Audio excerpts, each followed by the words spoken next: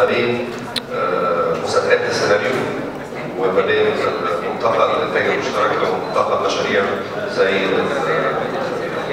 Cairo Film Connection وده أنا شرحت جوه في المؤتمر هو هو مسابقة أو ملتقى للمشاريع السينمائية.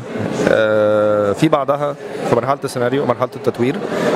لكن اللي بيتسابق فيها مش سيناريست. اللي بيتسابق فيها صانعي الأفلام اللي هو المنتج والمخرج. فهي already أفلام ليها منتج وليها مخرج وممكن تكون في مرحلة التطوير يعني لسه ما اتصورتش أو في مرحلة الإنتاج أو ما بعد الإنتاج اللي هو ال post-production يعني. الملتقى ده بيوفر لهم مقابلات وفرصة إن هم يتشاوروا ويتنافسوا من من خلال المسابقة دي.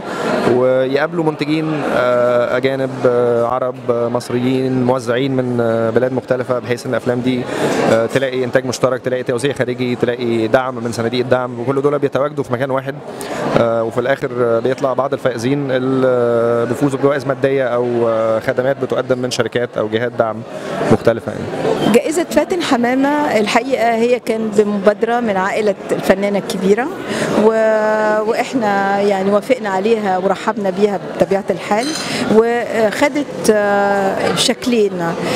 أولا التمثال اللي هيتقدم هيكون من للفنان آدم حنين. وتاني حاجة الجائزة هتكون في جائزة فاتن حمامة اللي هي الجائزة التقديرية لمهرجان القاهرة السينمائي الدولي. والجائزة الثانية جائزة برضو فاتن حمامة هتكون اسمها جائزة التميز لمهرجان القاهرة السينمائي الدولي. والأولانية هياخدها هتقدم لحسين فهمي وكلوديا كاردينال. والثانية لنيلي كريم وفرح خان المخرجة الهندية الكبيرة.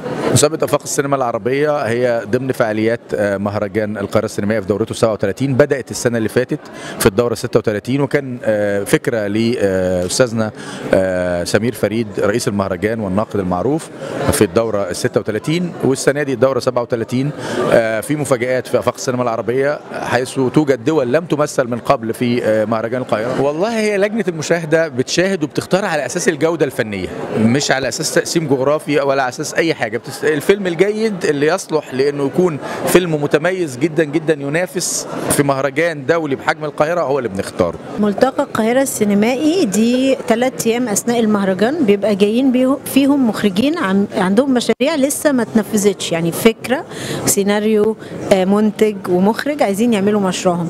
بيجوا يتقابلوا مع منتجين من أوروبا ومن العالم العربي ومن مصر طبعا وبيبقى في جوائز مالية بس هي الفكرة من ملتقى القاهرة السينمائي إنه أكنه كده سند ودعم للأفلام اللي, عايزة لسه تتعمل. بالنسبة لأفلام أسبوع النقاد الدولي إحنا عندنا سبع أفلام.